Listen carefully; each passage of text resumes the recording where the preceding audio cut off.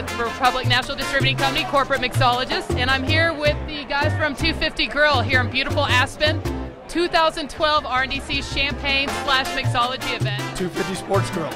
How would you describe it? Well, what we're doing a little different than most sports grills is we're, you know, obviously the guys are going to come in and watch their sports, drink their beer, and but we're going to have a signature cocktail list that Sly's making up for us, and that's going to really set us apart, I think. So. Absolutely.